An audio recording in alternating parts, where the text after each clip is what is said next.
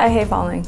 I hate falling with a passion. Oh, there are falls where I literally fall and I'll come back to my coach Lee and I'm like, I can feel my stomach and my throat. We're on a small, small blade.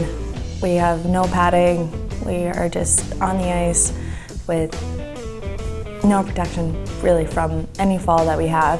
I mean, there was weeks where I couldn't sit and drive my car because I could not sit on, like, sit flat because I had so many bruises all over my body. But it's not just falls on the jump. I think the worst fall you can ever do is those unexpected ones. You don't want to fall on a jump, but you half expect it every time that you put yourself up in the air. You know there's going to be a chance that you fall. So usually we know how to brace ourselves that when we fall on a jump, it's okay. It's the freak falls that hurt the most.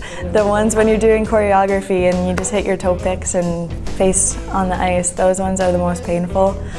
Um, and hopefully those ones are never done in competition because that's just really embarrassing.